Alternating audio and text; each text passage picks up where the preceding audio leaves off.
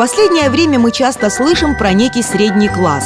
Политики утверждают, что в России заметно увеличивается процент людей, которых можно отнести к этому самому среднему классу. И что для страны это, несомненно, показатель развития. Раз уж мы в нашей программе подробно изучаем нашего среднестатистического рассказовца, так давайте попытаемся определить, средний класс – это про нас еще в стародавние времена Аристотель заметил, что в любом государстве существует три класса. Один богат, другой беден, и третий – он наилучший.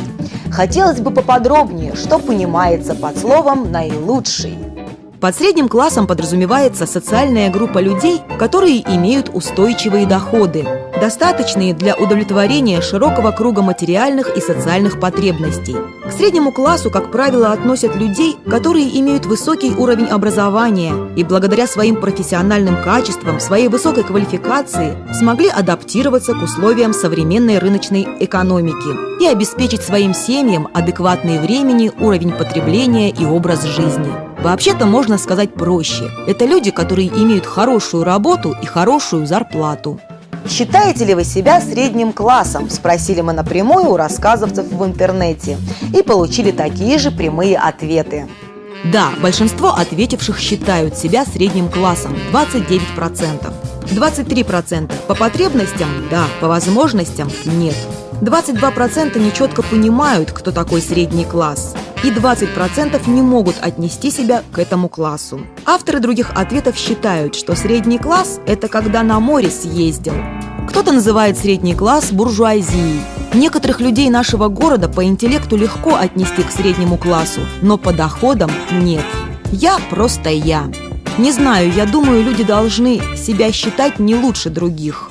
Ну а теперь переходим к практическому заданию. Тянем билетики, отвечаем на вопросики и сдаем вступительный экзамен в ряды этого самого наилучшего, по мнению Аристотеля, среднего класса. Признаюсь, когда я в одиночку сдавала этот экзамен, с треском его провалила. Посмотрим, что у нас получится сообща. Ну, если все готовы, то поведайте нам, пожалуйста, что изображено на фото. Ролл Калифорния, ролл Филадельфия, ролл с огурцом – я такое не ем. Что это? Калифорния, наверное. Или Филадельфия. Нет, наверное, Филадельфия. Что это? Для чего это? Порошок для отбеливания зубов, соль для посудомоечной машины, порошок для чистки столового серебра, средство для смягчения воды в стиральной машине, средство для чистки ванн с гидромассажем. Ну, давай для посудомоечной машины посмотрим. Фрагмент чего изображен на картинке. Шенгенская виза, американская виза, израильская виза, загранпаспорт нового образца, электронный билет. Что-то непонятно. Тут, тут, тут точно не паспорт. Это электронный билет. Что от вас требуется?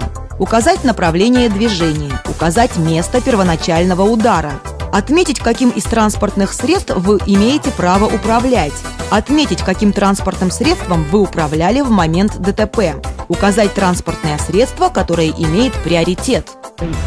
Стрелка, наверное, место удара. Что изображено на фото? Дырокол, антидырокол, степлер, антистеплер. Скрепки это степлера. Вытаскивать или... Антистеплер. Что это? Духи, туалетная вода, вода, водка, саке.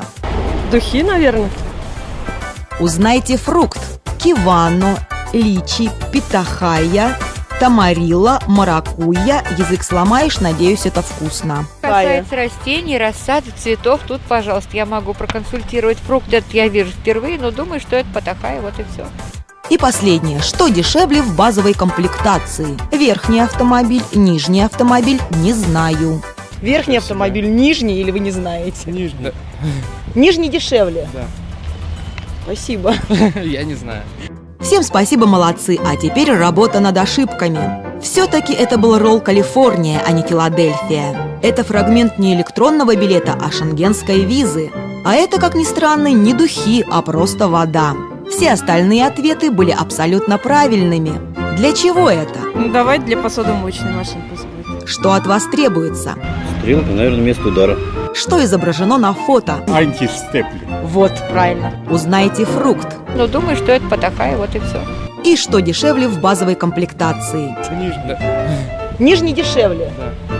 Счет 5-3 в нашу пользу. Таким образом, среднестатистического рассказовца можно записать в представители среднего класса. Правда, злые языки будут рассказывать про вас анекдоты, но вам вовсе не стоит переживать по этому поводу. В России принадлежность к среднему классу означает, что вы живете лучше абсолютного большинства своих сограждан.